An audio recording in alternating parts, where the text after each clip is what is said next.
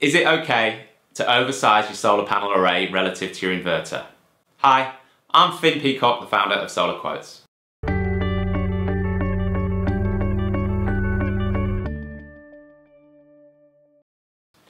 It is perfectly okay to put more panels on your roof than your inverter capacity. What am I talking about? Say you have a 3 kilowatt inverter. It makes sense that you might only put 3 kilowatts of panels on your roof to match the inverter, yeah?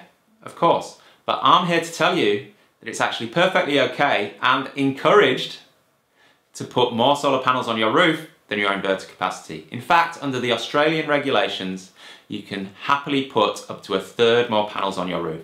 So if you have a 3 kilowatt inverter, you can put up to 4 kilowatts of panels on your roof. First of all, that sounds a bit nutty and it sounds like you might blow up your inverter. Let's put you at ease about that.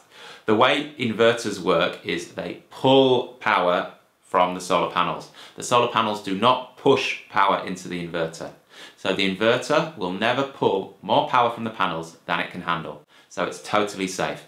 In fact, in theory, you could put 30 kilowatts of panels into a 3 kilowatt inverter and it would be safe. But we're not doing that. We're putting up to a third more. But more to the point, it's actually, there's three main advantages to having more solar on your roof than your inverter capacity. And I'll go through those three reasons now. Number one, in winter, when it's overcast, in the morning, in the afternoon, early evening, the sun isn't very strong. If you've got four kilowatts of panels on your roof, for example, you'll be pumping out a third more power than a three kilowatt system, but you'll still be well below three kilowatts because the sun isn't at its peak strength. Also, you get the maximum output from your panels when it's really sunny but really cold because temperature actually degrades the efficiency of solar panels.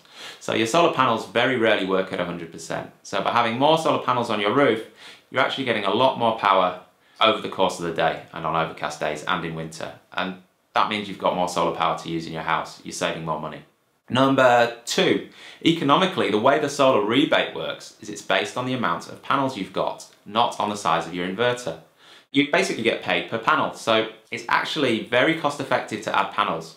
So you might as well add as many panels as you can, up to 33% more than the rating of the inverter. It makes economic sense, it's just how the rebate's been set up. Talk to your installer about it. The smart installers totally get this.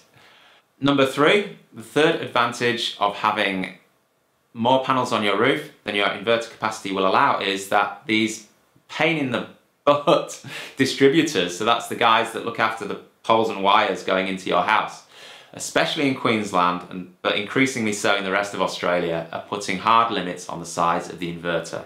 So if you're in Queensland, your local distributor might say, eh, 5 kilowatt inverter maximum.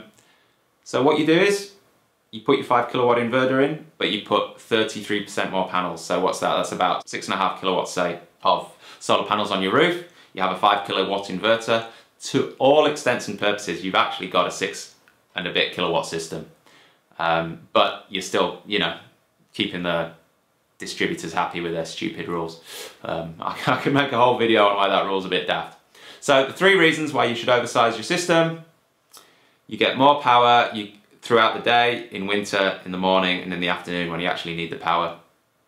Two, the solar rebate is based on the amount of panels, so it's actually quite cheap to add panels to a system. Talk to your installer, you might be surprised at how cost effective it is. And number three, it's one tool we've got in our box to get around these stupid inverter sizing restrictions that increasingly the electricity companies are imposing on us.